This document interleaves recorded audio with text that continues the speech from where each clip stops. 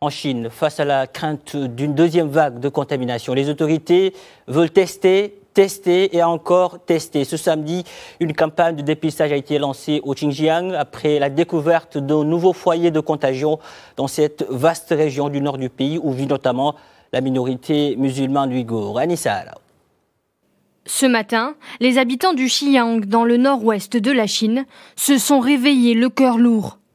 Ici, de nouveaux cas de coronavirus ont été détectés, ravivant les mauvais souvenirs et la peur du retour de la pandémie.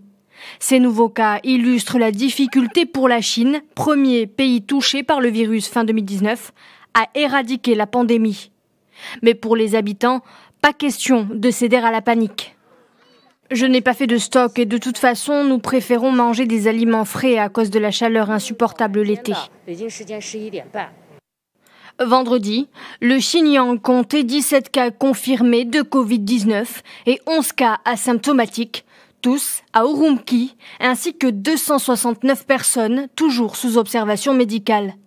La Chine a lancé samedi une campagne de dépistage au Xinjiang après la découverte d'un nouveau foyer de coronavirus dans cette vaste région du nord-ouest du pays où vit notamment la minorité musulmane ouïghour, faisant craindre un rebond des contaminations.